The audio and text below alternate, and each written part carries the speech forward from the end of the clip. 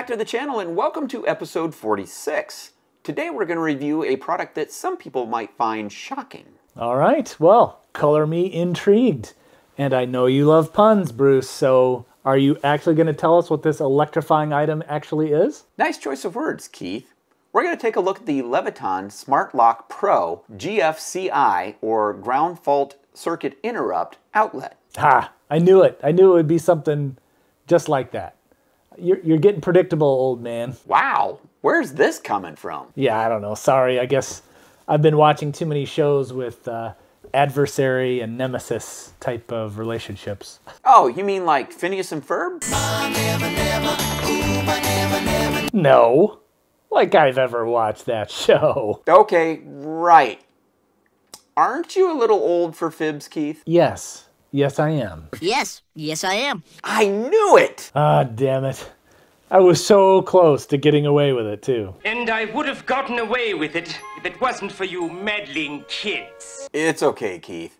You know, you had kids the proper age that that show would have and could have been on with them there. So that could be your cover story. That's that's the story I'd stick with. Yeah, good point. You know, uh, no one has to be the wiser. It's not like I would turn on that TV show and watch it today. Exactly. None of us ever do. All right. So I'm going to ask a seemingly stupid question here, but here goes. Why are we reviewing something as mundane, although important, uh, but a rather mundane product such as a GFCI outlet? We're going to break into this episode for just a brief moment with some very exciting news.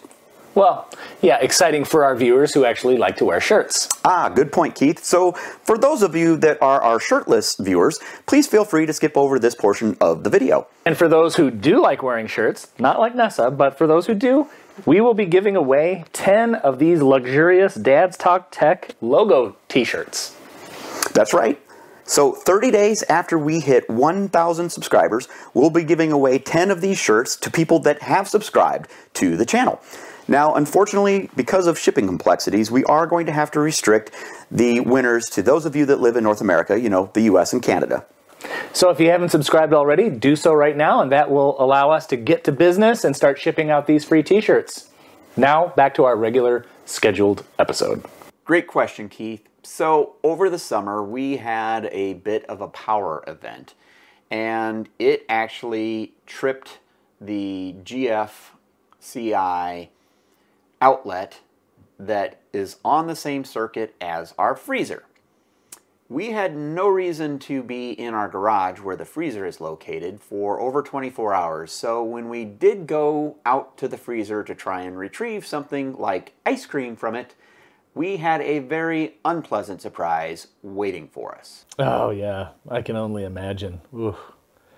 So, but how is a different GFCI outlet going to solve that problem? Another excellent question, Key. So this particular GFCI outlet has an audible alarm integrated in. So if the breaker interrupts the circuit, it's actually going to set off an audible alarm so that we are uh, made aware that we have a power loss at the outlet the freezer is connected to. Okay, so this is starting to make some sense.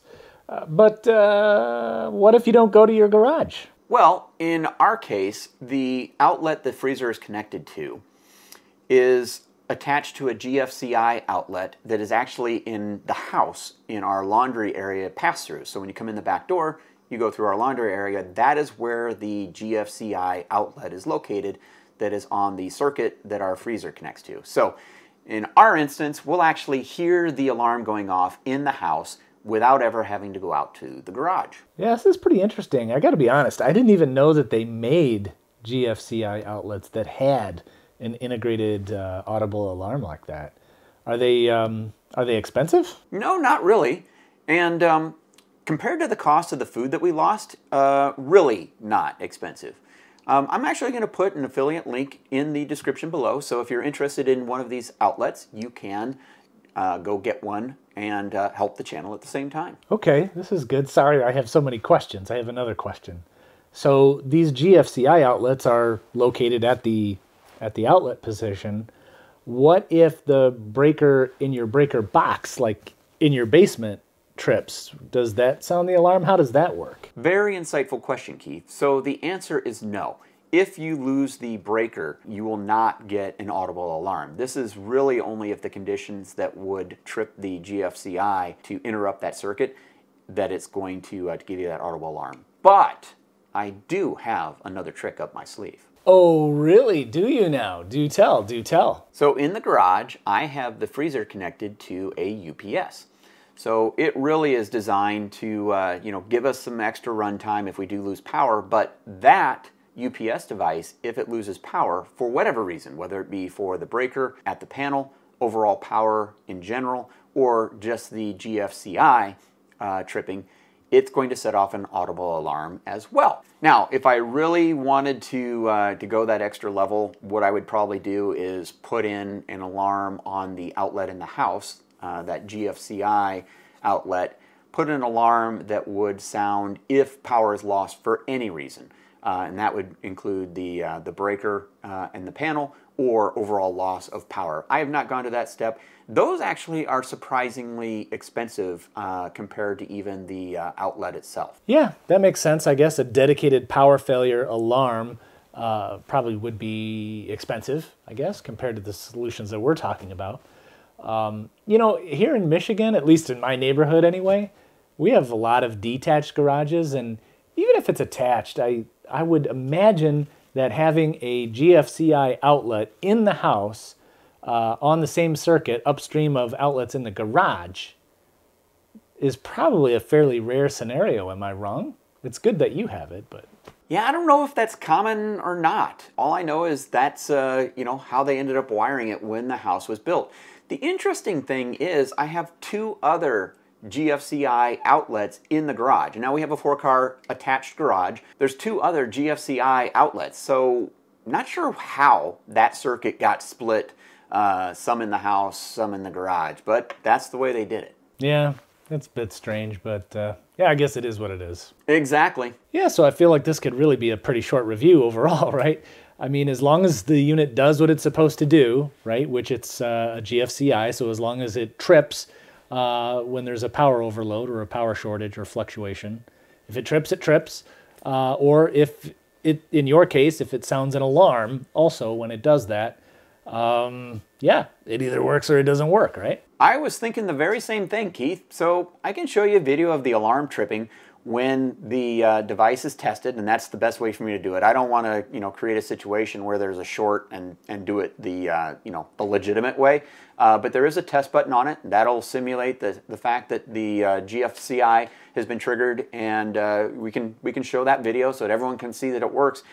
After that, that's that's really all I was looking for, right? Is something in the house so that I would know when I lost power on that outlet, so that if uh, the, I needed to go reset that uh, GFCI outlet, I could do so in a short period of time. The UPS in the garage keeps the freezer running for a short period of time until I do so, um, just for that extra uh, you know, measure of safety. Now installing one of these, I do recommend that you shut off the power uh, so that uh, you know you don't get yourself uh, electrocuted, which you know you'd find shocking.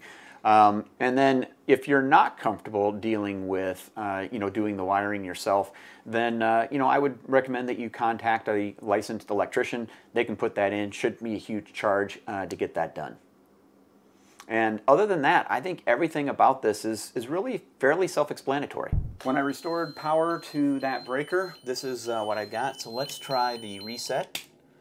Okay, and that uh, stopped it from beeping. We now have a green light showing that our status is good. Let's try the test again. So this is the sound that we're going to get if we have a GFI event. And uh, hopefully, you know, we're somewhere in the house where we can hear this. This is in our laundry room, which is attached to our kitchen, which is attached to our family room and dining room. So if we're on the main level of the house, I think we're going to hear this. I think if you're not in a bedroom with the door shut, I think you're actually going to be able to hear that as well. So let's go ahead and reset this. Get it pushed into the wall and call her good. Yeah, agreed. And if you, our viewers, agree, how about giving us a thumbs up? Just do it. You're still here. You're actually listening to the words coming out of our mouths. Precisely. And that probably means you liked the video and the channel, or right before you started watching this, you'd ordered a footlong and started eating it, and you didn't really want to put it down in fear that the dog would eat it.